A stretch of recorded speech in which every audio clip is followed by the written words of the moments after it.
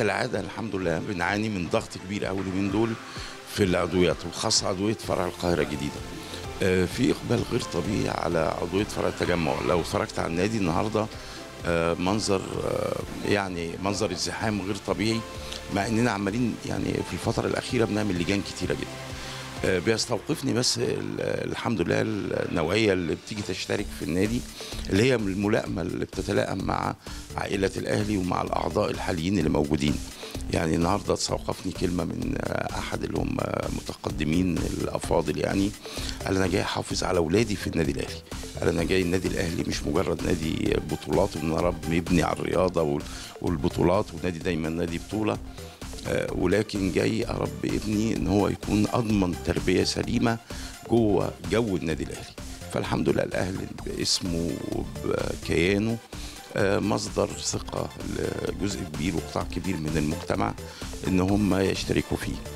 آه، بكرر تاني إحنا عندنا الحمد لله كم من ربنا يعين بس الجميع خصوصا إدارة الاشتراكات والعاملين فيها إن هم كلهم آه، خلال الأيام اللي فاتوا آه، سهر في النادي جامد جدا الاستيفاء لأن إحنا بعد ما بنخلص إجراءات المقابلات الشخصية وخلافه وكده آه، بيبداوا هم يكملوا شغلهم آه، خلال بقى لبقية اليوم يعني.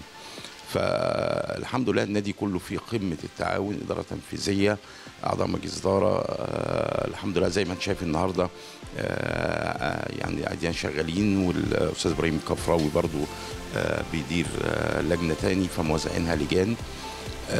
كل برضو اللي إحنا بنتمناه إن يكون إحنا دايما النادي الأهلي هو مثار ثقة.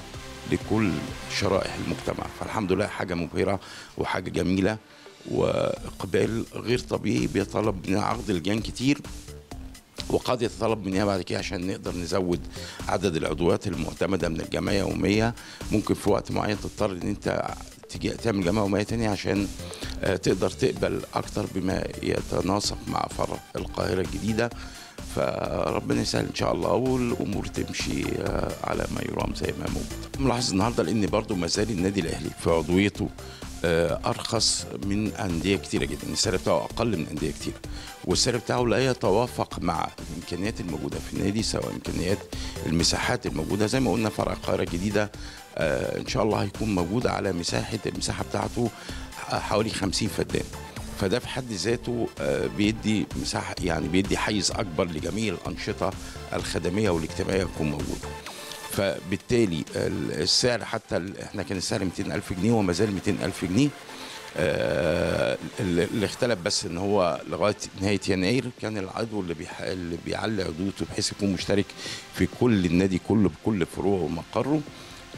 له الحق خلال أربع سنين طبقا للائحة ب 350 ألف جنيه السعر القديم ابتداء من 1 فبراير بالسعر الجديد بقى لو حب يعمل تعليه لاشتراكه انها تشمل كل فروع النادي تبقى ب 500 ألف جنيه. آه، أنا حتى دي مش ملاحظ لأن آه، مش ملاحظ فروقات بالنسبة للعضو إن هو عاملة ثقل عليه لأنه كويس جدا كله مدرك الحمد لله الإمكانيات اللي موجودة في النادي الأهلي. يعني النهارده جالنا برضو موجود اشتراكات كتيرة جدا لسه هنعمل لها لجان بالسعر الجديد ب 500 ألف جنيه وبسعر طبعا القاهرة الجديدة. خلصنا جزء كبير كمقابلات شخصية ومتبقي جزء تاني آخر غير اللي بيسحبوا لسه استمارات فالحمد لله بنأكد تاني إن هو السعر ملائم جدا وأقل بالمقارنة آه، من أندية كتير قوي مرحبا بيك جوه النادي الأهلي داخل عائلة الأهلي. آه، ونأكد تاني إن آه، إن شاء الله هيكون على قدر وإحنا متأكدين من كده النادي الأهلي وعلى قدر اعضائه ال- الحاليين.